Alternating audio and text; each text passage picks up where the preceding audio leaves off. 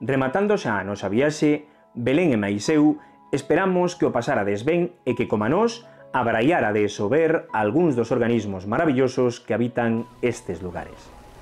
Agora, xa sabedes que a vida aquí non é sinxela para ningún ser vivo, e tamén que podedes facer para axudarlles a sobrevivir. Lembradio, porque son consellos moi doados de seguir, pero moi importantes.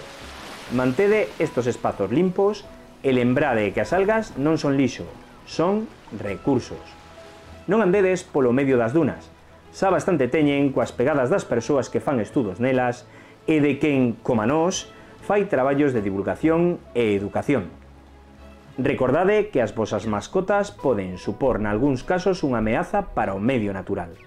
Así que seguide as indicacións dadas polas administracións nos espazos naturais non molestedes as aves e demais seres vivos. Poderíades estar poñendo en risco a súa vida.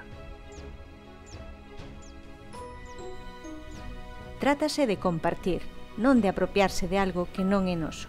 Respectar todas estas indicacións sí que é un bo xeito de deixar a vosa pegada neste espazo.